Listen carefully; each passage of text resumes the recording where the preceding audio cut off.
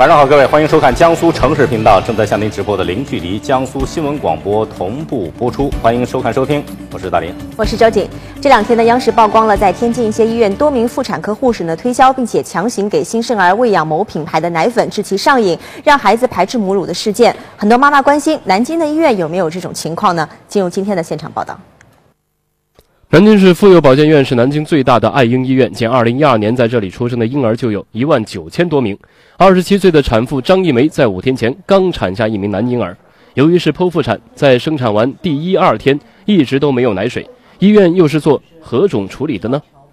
前两天的时候确实没有什么奶水，然后小孩子又饿得经常哭，所以我就自己配了一些奶粉给小孩。两天后，母乳跟上来了，宝宝也喝起了母乳。医生介绍，作为剖腹产的产妇，有部分人在前几天会出现没有奶的状况，这期间婴儿配方奶粉肯定是需要的。不过，在南京市妇幼保健院，从健康出发，新生儿原则上都必须母乳喂养。如果需要冲调配方奶粉，必须由儿科医生对产妇检查后开医嘱单，而护士、医生都严禁推荐奶粉。这个就是我们原一个病人。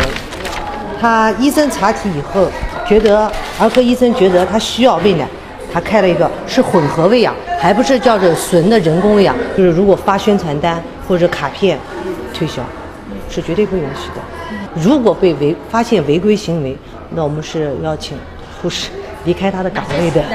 院方表示，确实有奶粉厂家挤破了头，想方设法和医院产科搞好关系，让奶粉打入病房，但医院有严格规定，没有人敢触碰这条高压线。